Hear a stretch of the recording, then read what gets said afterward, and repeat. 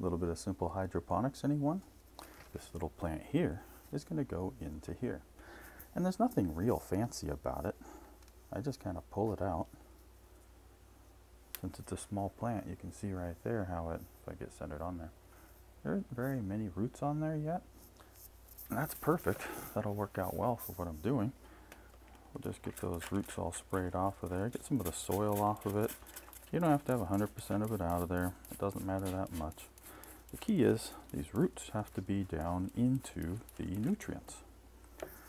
Nutrients are going to be in here, and this will of course be covered. But how is it going to stay in there? Not like that, of course. These right here are expanded clay.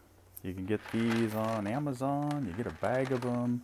Wash them off really good because otherwise they'll turn everything all kinds of clay colors. But there's nothing real fancy about this. Pour it in there. That'll hold the plant steady. I can get it in the right spot. The roots, they can take quite a bit of abuse down there, so it's not that bad. It's already holding the plant in the right place. Sorry if that's loud. Which is all that really needs to be done is to hold it in there. If you can take a look at that, you don't see any roots coming out of the bottom of there yet. So when we fill this up with fluids, we'll want it all the way up here so the roots have all their nutrients to start. So I'll fill that up right now. It's really not that difficult. Anybody can do this. It's it's been fun to do because I can grow them all year round.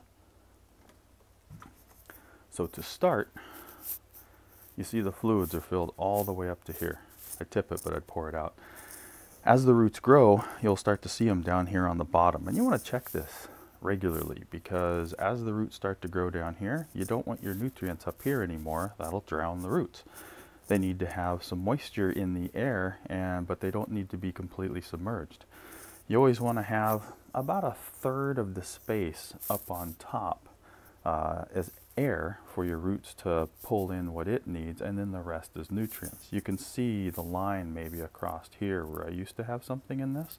That's about as full as I will fill this once it's filled with roots. And then you can upgrade and move it to larger jars as you go along, or even a five gallon bucket if you wish. But is that simple? How simple is that? And they will grow fantastically in here.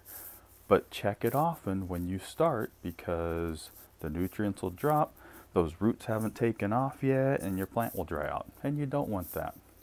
This is a scarlet chili. This is a three inch net cup that's in here. These are expanded clay, and this is a wide mouth mason jar. The wide mouth mason jar is three inches wide, which makes this net cup fit here perfectly.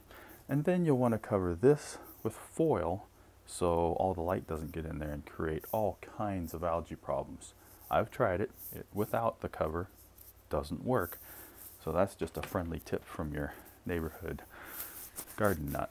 But I might be doing the same thing with this plant over here. I don't want to keep it in that, well, I'll show you. I don't want to keep it in this cup. I'm actually going to go away from using these cups. I'm going to start just using the fabric, little small fabric pots that they have now because it works so good. I might put this into a five gallon bucket or maybe into a half gallon for now, but I'm not going to keep it here in the soil because it's undoubtedly starting to spin around in there. It doesn't pull out real easy, but that is the easy way to start with a simple hydroponics. Don't need anything else but a cover over this and this thing will take right off. I'll probably do an update on it as time goes on, but hey, that's it for now and I hope you give that a shot. Sorry about bumping that.